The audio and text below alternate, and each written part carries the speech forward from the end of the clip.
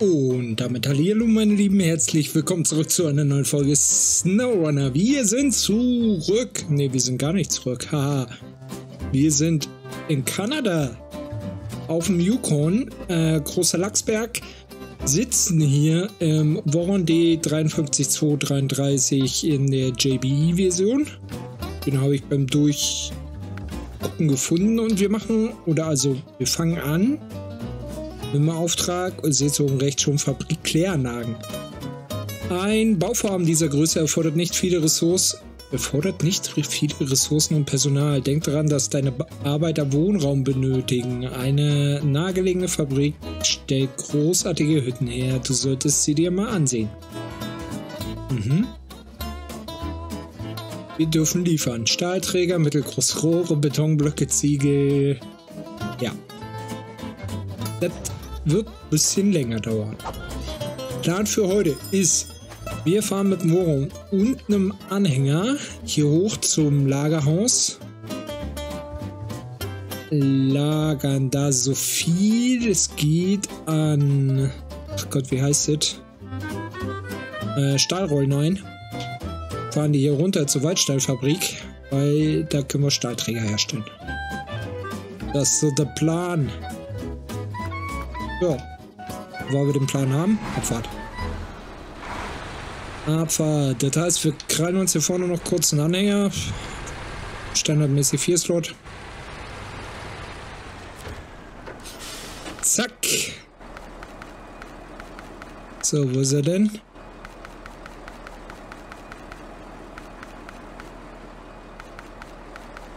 Äh, äh, äh, äh da war er. Da haben wir. So, jetzt haben wir sechs Slots. Können wir sechs Stahlrollen durch die Gegend rollen. Tragen, fahren, wie auch immer. Siu. Auf geht's. Schön durch den Yukon. Wow. Das, äh, war ein bisschen holprig in der Kurve. Cool. Wir kommen voran. So. Äh, Weg da hoch habe ich mir zwar abgesteckt, aber ich weiß, also der letzte Part des Weges bin ich mir gar nicht sicher, dass äh, der richtige, die richtige Richtung ist. Ich weiß jetzt auch gerade nicht, links oder rechts. Hallo? Offensichtlich rechts. Da ich den, den Punkt da oben nicht gesehen gerade irgendwie. So, gut, umdrehen. Rum hier schön um die Kurve. So. Dann fahren wir hier mal hoch. Einfach mal. Ist das der richtige Weg? Ja. War mir da gerade unschlüssig, ob wir hier hätten rechts gemusst. Hier waren wir ja auch schon eine Weile nicht mehr. Ach ja, bergauf ohne Ketten. War ich hier eigentlich keine Ketten raufgezogen? Ah, man weiß es nicht. Aber ich glaube, das ist so ziemlich die einzige größere... Oh ne, da vorne kommt noch eine Steigung. Ja gut, wenn wir die aber mit Schwung fahren, dann sollte das auch besser laufen. Und ansonsten nutzen wir gleich wieder die Taktik und fahren ein bisschen am Rand, wenn wir ein bisschen mehr Grippy Grip haben. So quasi sag.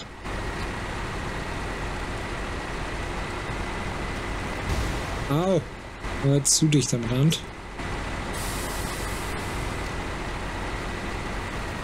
Aber funktioniert. Gut, wir sind auf dem Weg. So, ich habe auch, äh, wow, wow, wow. Ich wusste, dass das kommt. Ähm, ich habe auch letztens festgestellt, YouTube hat mich daran erinnert. Oder, was heißt daran erinnert? Darauf aufmerksam gemacht. Ich gucke ja selten hier so nach Statistiken oder so ein Zeug. Aber YouTube hat mir gesagt, dass mittlerweile meine Videos 25.000 Stunden angeguckt wurden. Ja, wie gesagt, für große YouTuber sicherlich nicht viel. Für mittelgroße bestimmt nicht. Aber ich finde es schon beeindruckend. Das schon äh, verrückt. Dass sich Leute 25.000 Stunden hingesetzt haben und meine Videos angeguckt haben. Ah. Oder nicht schnell genug abschalten konnten. Das mag natürlich auch sein. So. Wir haben hier so viele Ladedinger drin. Ich meine, gut, wir haben ja auch einen Haufen Zeug, was wir hier durch die Gegend fahren dürfen. Okay. Dann werden wir nochmal in die Werkstatt gehen. Also entweder den Truck wechseln. Oder äh, irgendwie zurücksetzen. Ketten. Ketten, Ketten, Ketten, Ketten. Stimmt, da war nämlich auf der ersten Karte waren Ketten gar nicht so wild. Hier waren sie doch schon, zumindest für die Hauptstraße, eher gebrauchbar. Das habe ich, ich noch so in Erinnerung. Gut, jetzt müssen wir mal gucken. Wir fahren mal weiter geradeaus. Ich hatte mir den Punkt nach da hinten gesetzt, aber ich glaube, das ist eine Bahnschiene.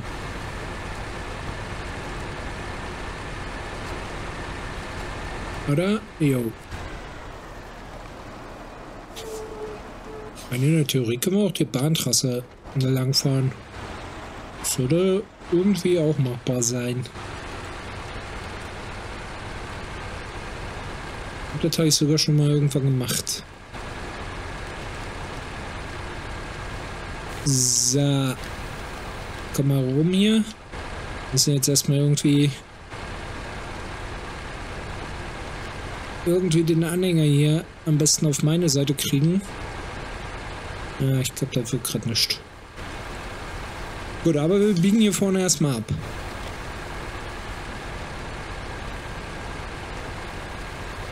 Genau.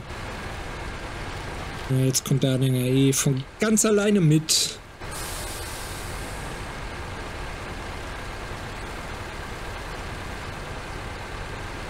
Gut. Also hier Stahlrollen. Metallrollen sind's. Die wir laden wollen. Jetzt müssen wir nur gucken, welcher Ladepunkt das von den beiden ist. Ich glaube, da gibt hier zwei.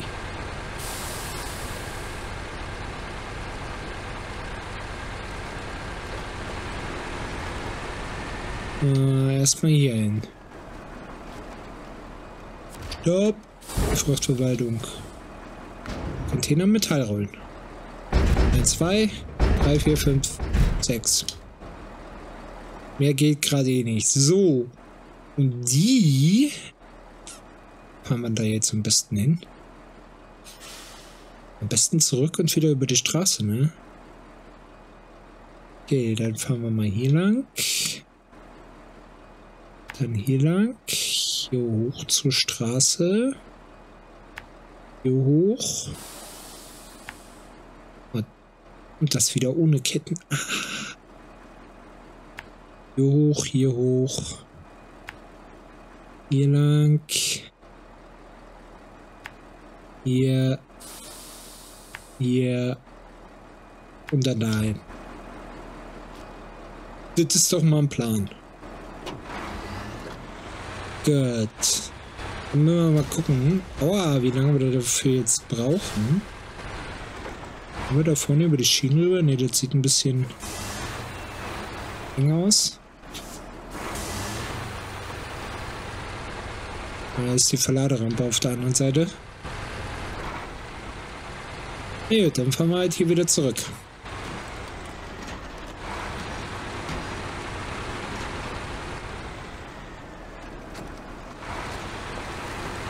Äh, wir machen das hier erstmal sowieso ein bisschen entspannt im Lastgang. So. Dank. Oh no. Ich habe keinen Strom mehr. So, da haben wir wieder Strom. weiter geht's. Das sind VD-Akkus vom Controller, der.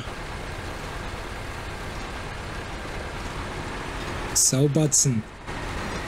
Gott. So. Ähm, wo waren wir gerade? Achso, zurück mit, äh, wieder ohne Ketten. Ja. Okay, hierdurch werden wir uns jetzt ein bisschen ein bisschen quälen. Also, was heißt quälen? Aber wir kommen hier ein bisschen, bisschen langsamer voran.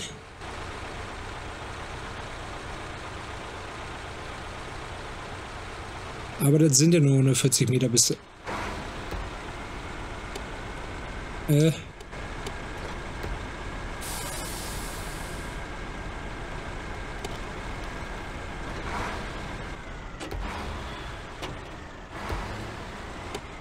Warum gibt er mir eigentlich nicht meine Winde?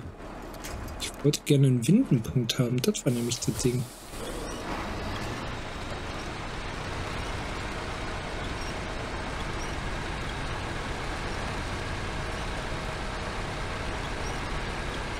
Damit wir hier uns nicht weiter einbuddeln. Aha. Jetzt klappt das auch. Okay, nach da vorne dauert jetzt halt ein bisschen. Das dürften wir aber hinkriegen. Wie gesagt, wir haben ja eine ordentliche Winde. Hier nervt halt nur ein bisschen der Schnee, der uns hier auf der Straße ausbremst. Auf dem Weg. Viel mehr. So.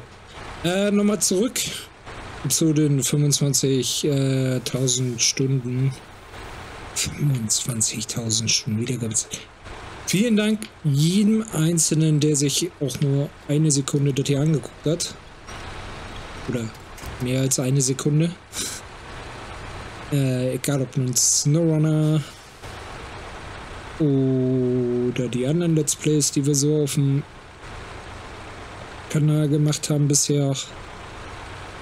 Oder irgendwelche Tipps und Tricks Videos, denn mein, also rein von der Wiedergabezeit her, ist mein meistgesehenes Video mit allein 800 Einzelstunden äh, ein relativ kurzes Video, was gar nichts mit SnowRunner zu tun hat, sondern äh, ein Green Hell Video.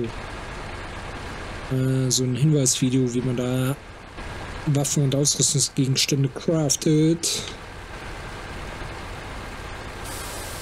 Ja. Also da auf jeden Fall nochmal Danke an alle, die sich das ergeben, die auch gerne mal einen Kommentar da lassen. Vielen, vielen, vielen, vielen, vielen Dank. Das freut mich immer. So.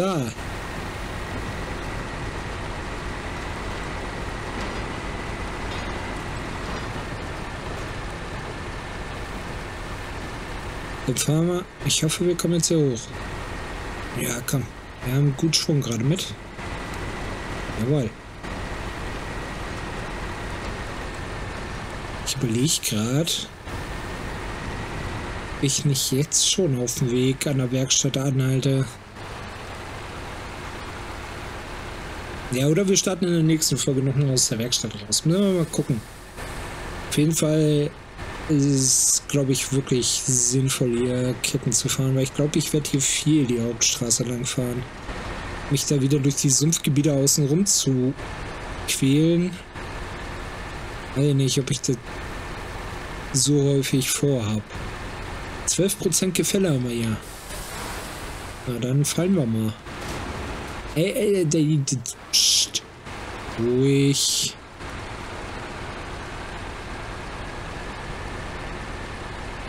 Da weiß ich nicht, ob ich da so viel Lust drauf habe. Mich da öfter. Also wenn wir irgendwo an die Seiten ran müssen, klar, dann fahren wir natürlich äh, durch die Sumpfgebiete. Also mit Sumpfgebiete meine ich zum Beispiel das hier hinten. Die Ecke hier so. Da steht ein Anhänger. Im Sumpf. Oh, Was ist da für ein Anhänger? Ah, Rampentiefladeranhänger mit zweimal mittelgroßen Rohren anscheinend. Ja gut, wir müssen äh, gleich dann beim, äh, wenn wir die Stahlrollen abgegeben haben, die Metallrollen, äh, sowieso gleich erstmal gucken, wie viele Stahlträger und hoffentlich mittelgroße Rohre wir daraus herstellen können. Also Stahlträger haben Priorität. Ich glaube, es gibt noch einen Stahlträger, den habe ich hier irgendwo auf der Karte gesehen. In irgendeinem Lagerhaus liegt noch einer. Ich glaube, in einem von dem, wo wir gerade quasi waren und die Metallrollen hergeholt haben. Oh Gott. Ein bisschen ruhiger hier. Ein bisschen ruhiger hier bergab. Wie haben wir das? Schöne Hinweisschild für Yukon Ironworks. Oh, das hat ganz schön lange gedauert, bis das fähig geladen war. So. Hänge ja auch so ein bisschen eine halbgehaltene Kurve. Geld. Der Weg hier runter ist anscheinend nicht so vereist, das ist gut. Wir bleiben trotzdem jetzt ganz entspannt im Lastgang. Nicht, dass wir hier auf den letzten Meter noch irgendwelchen Quatsch machen. Man muss nicht sein. Habe gesagt im Lastgang. Will schon wieder scheiden, merkt ihr das?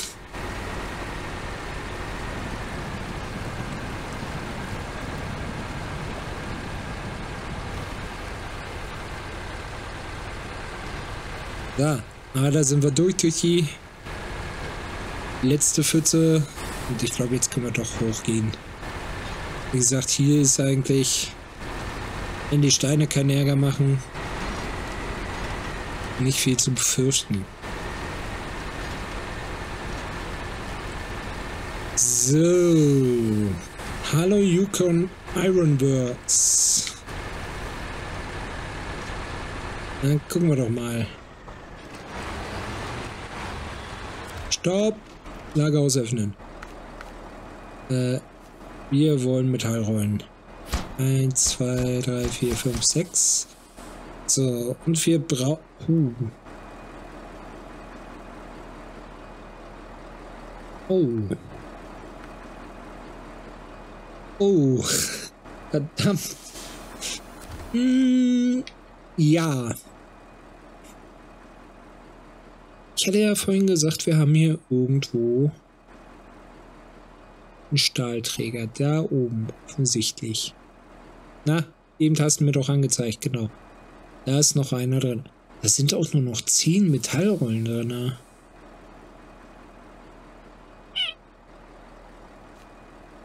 Okay, das heißt, wir holen auf jeden Fall den.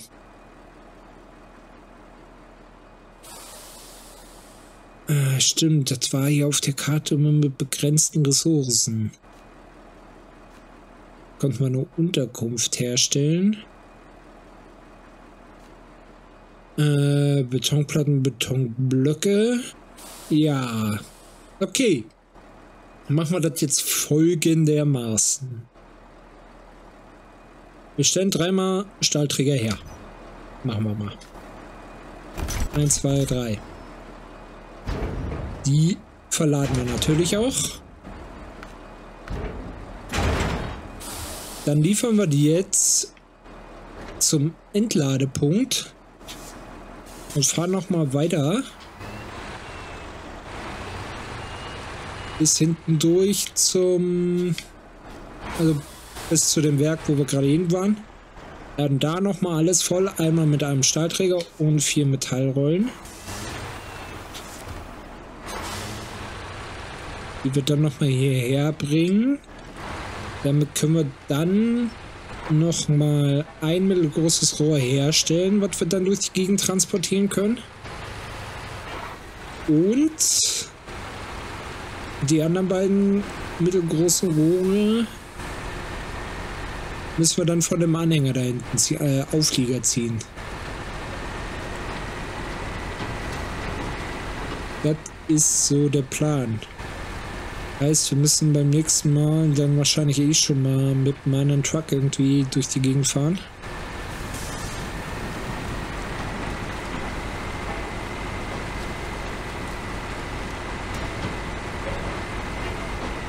Äh, mit einem Sattel.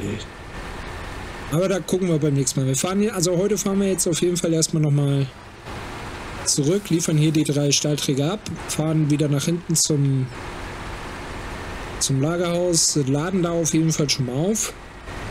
Und entweder wir schaffen das nochmal hier jetzt zurückzufahren, aber glaube ich eher nicht. Äh, dann machen wir, starten wir beim nächsten Mal nochmal von dort aus.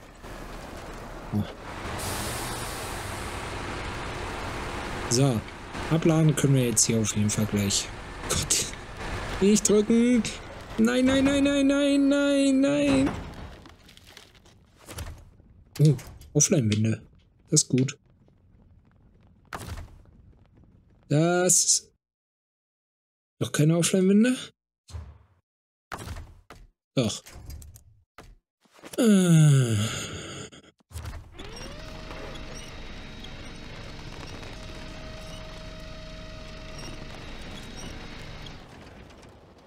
Stopp. Oh nein, da hinten ist noch eine Runde gefallen. Ja gut, das macht erstmal nichts. Ähm, Anhänger lösen. Motor starten.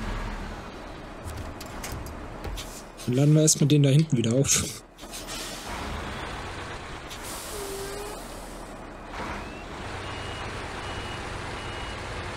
Also ich hoffe, wir kommen da ordentlich irgendwie ran.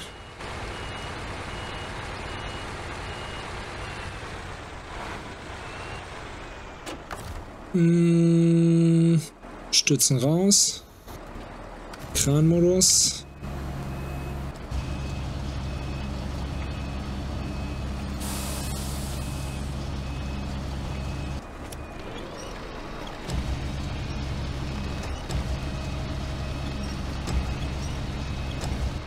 Komm hoch hier.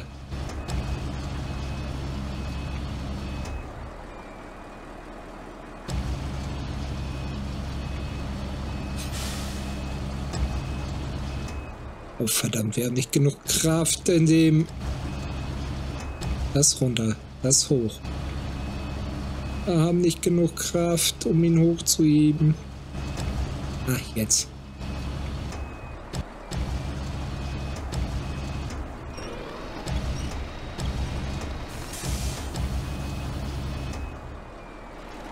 Äh...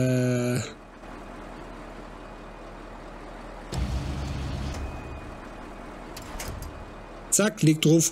Oh. so, äh, nee, ich wollte nicht in den Kranmodus. Ich wollte ihn erstmal wieder herstellen. Danke. Eieiei.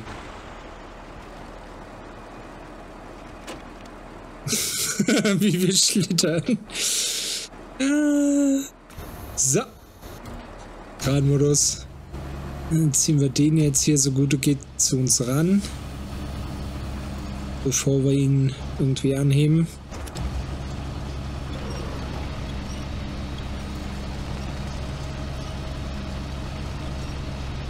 Wir da ran, ran, ran, ran, ran.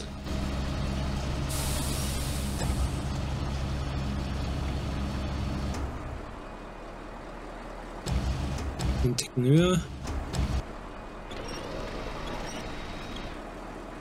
Äh. Wenn wir noch mal kurz drehen.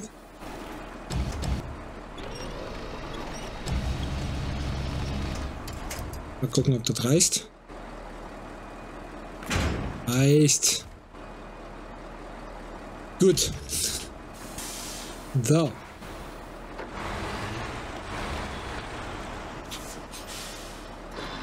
Na, schalten ist kein Geheimnis.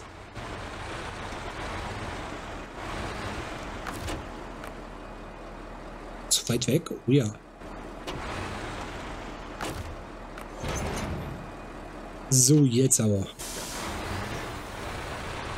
Achso, Moment. Wir müssen hinten ja auch noch verladen. Gut, haben wir gelöst. Das Problem haben wir gelöst.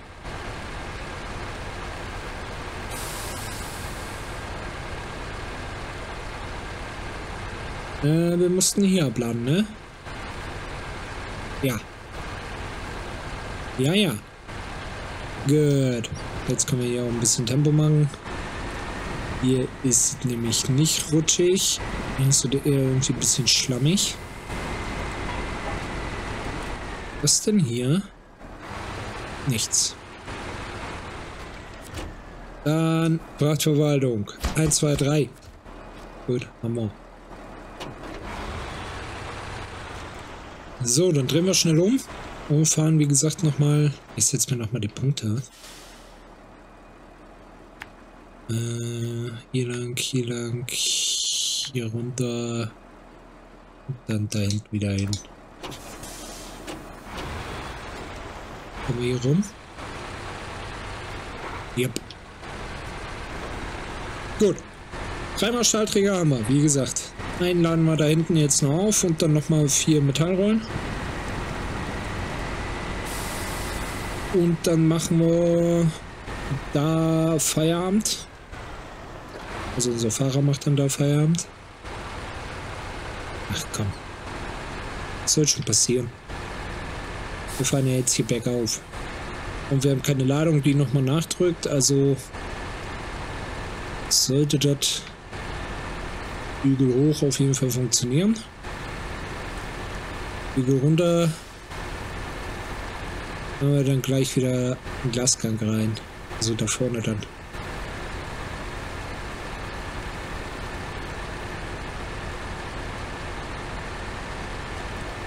So, mit den Betonblöcken und den Ziegeln muss ich nochmal gucken. Wichtig ist nur, merken, Betonblöcke, ein Slot, Betonplatten, zwei Slots. Das heißt, der Price reicht für Betonblöcke. Oder die vier Ziegel. Uhu. So, jetzt nur auf jeden Fall hier hinunterschalten.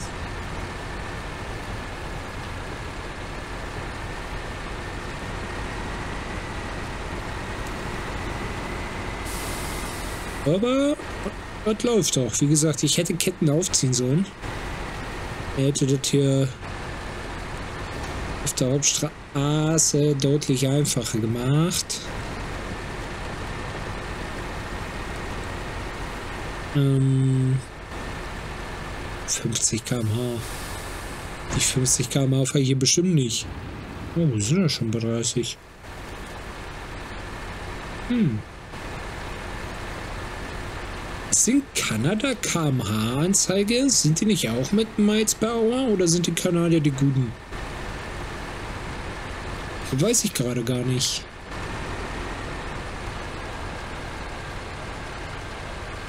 Äh, hier ist nochmal ein Lagerhaus. Was gibt's denn hier? Also hier können wir die Betonplatten herstellen. Und die Betonblöcke. Dafür brauchen wir aber Zement. Okay, Zement. Ja, gut. Da müssen wir uns hier erstmal wieder ein bisschen orientieren, wo wir das alle zusammengebügelt bekommen. Nehmen wir hier wieder so halb rüber. Oder am besten ganz rüber. Wenn der Anhänger vielleicht komplett mitkommt. Nee? Nicht so? Ah, doch? Ja? Nee? Na gut, dann schleife ich dich halt hinterher. Hast Pech gehabt. Hat er Pech gehabt. Gut. So, jetzt hier Endspurt, dass wir noch fix beladen können. Wie gesagt, ist ja jetzt eigentlich nicht so schwer. Äh, schon mal wieder in das Gang rein, und wir hier entspannt über die über die äh, Betonpoller hier fahren. Gut. Frachtverwaltung, Metallrollen. Können wir hinten schon mal aufladen. 1, 2, 3, 4. Zement gibt's hier. Sechsmal. Okay. Und Stahlträger. Auf dem Truck. Sehr, sehr schön. Gut. Dann machen wir Motor aus. Das sieht aus wie so ein Aufenthaltshäuschen da vorne.